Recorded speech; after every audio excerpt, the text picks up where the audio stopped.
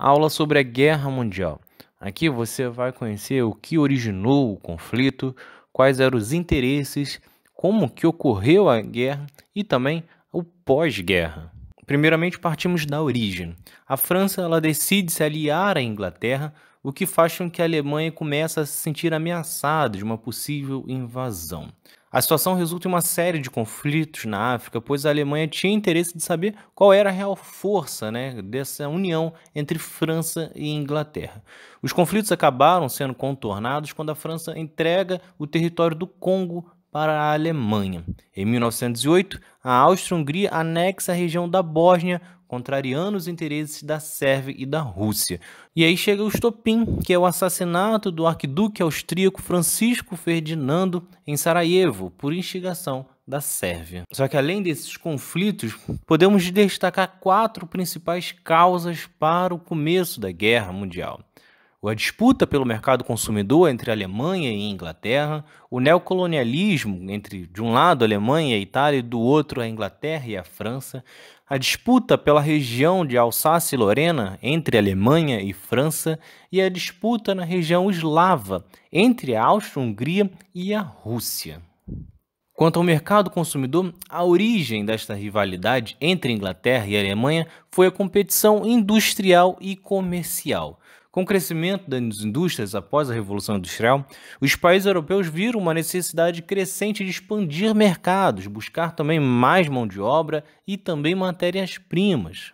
No neocolonialismo, a disputa era principalmente pelas regiões da África e da Ásia. A divisão que ocorreu na África entre os colonizadores aumentou a tensão entre as principais potências europeias que passaram a se ver como inimigas e concorrentes. A rivalidade entre as potências acabou tornando ainda mais intensa a disputa de cada país e que silenciosamente passaram a produzir armas e formar alianças entre eles. Já a disputa por território começa principalmente entre a França e a Alemanha. Essa rivalidade começa com a Guerra Franco-Prussiana e a perda dos territórios de Alsácia e Lorena para a Alemanha. A Alemanha, nesta época, pregava a completa anexação de todos os povos germânicos da Europa Central, então, ou seja, buscava mais territórios. A Rússia desejava dominar o Império Turco-Otomano e pregava, por sua vez, a união de todos os povos eslavos da Europa Oriental. Com a disputa, os países acabam então se dividindo em blocos. De um lado, a Tríplice Entente, com o Império Britânico, a França e o Império Russo, que ficou até 1917, que passou depois a contar com os Estados Unidos a partir deste ano. Do outro lado, as potências centrais, conhecidas também como Tríplice Aliança, que tinha o Império Alemão, o Império Austro-Húngaro e o Império Turco-Otomano. A Itália ela até chega a fazer parte da Tríplice Aliança, mas retira-se do bloco pois recusava a lutar junto dos interesses austríacos. Em 1915, os italianos ainda mudam de lado, passando então para a Tríplice Entente. Chegamos aos conflitos. A Sérvia entra em guerra contra a Áustria-Hungria, temendo a expansão austríaca na sua região. A Rússia então passa a apoiar os sérvios.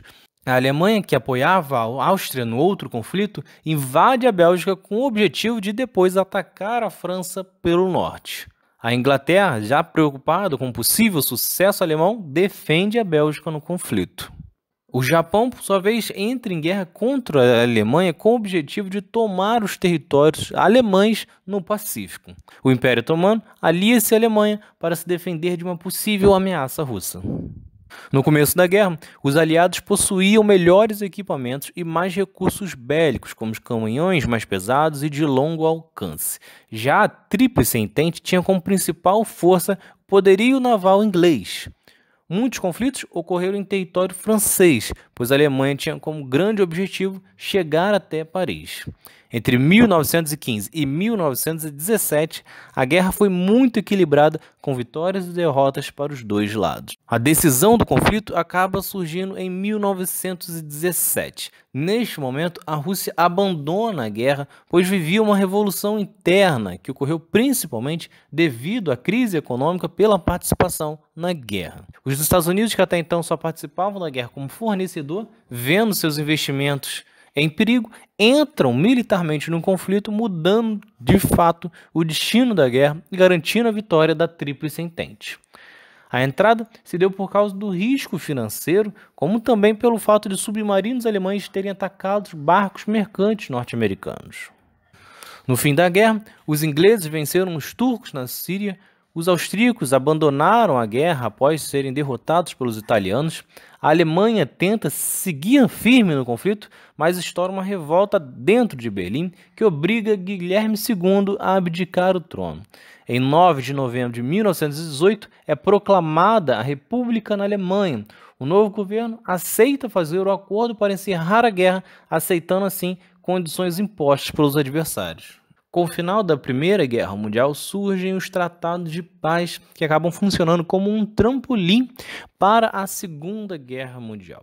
Isso porque os tratados de paz não foram feitos com o objetivo de acalmar os ânimos, e sim de declarar quem venceu e quem perdeu, resultando em uma crise econômica nos países derrotados e também uma indignação, principalmente no lado alemão.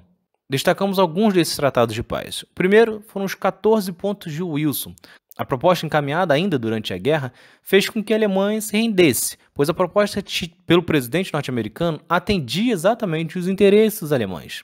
Neles ficava estabelecido o fim dos tratados secretos, liberdade dos mares e a devolução dos territórios tomados nos conflitos. Tudo seguia de forma tranquila, até que depois do fim da guerra ocorreu a Conferência de Paz de Paris, reunindo 26 nações aliadas e que não convidou nenhum dos países derrotados. Algumas nações decidiram até sair da conferência, pois viam que seus interesses não estavam sendo discutidos. Com isso, o tratado acabou sendo decidido por três países: Estados Unidos, França e Inglaterra. As decisões acabaram sendo tomadas para atender os interesses destas três potências, abandonando assim a ideia proposta nos 14 pontos de Wilson. No tratado, acabou deixando claro o sistema de revanchismo francês.